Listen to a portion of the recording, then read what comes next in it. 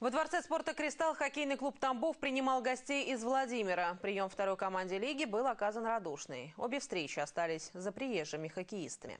Рассказывает Алла Лаврененко.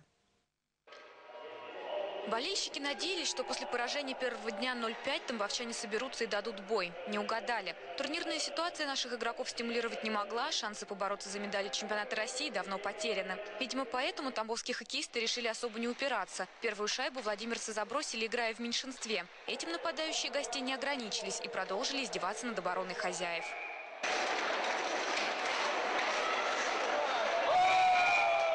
На этом терпение Михаила Щетинина лопнуло. Второй период тренер начал, поменяв Черняева на Черноскутова. Как оказалось, шило на мыло. Андрей пропустил еще три шайбы. Но в отличие от первой встречи, на этот раз счет размочил Сергей Бурмистров. А героем матча стал 18-летний Илья Федосов. Единственный в составе Тамбова, кому было обидно безвольно проиграть. Парень действительно старался и стал автором двух голов.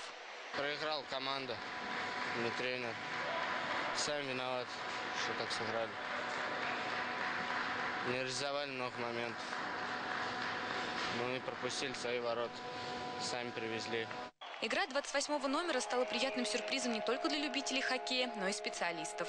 Единственный позитив, который я вижу и очень большой, это то, что на ведущую роль у нас выходят наши молодые хоккеисты. И как бы они уже э, при, приносят э, ощутимую пользу команде. Среди причин поражения Владимир Виноградов назвал также отсутствие у хоккеистов должного настроя на игру.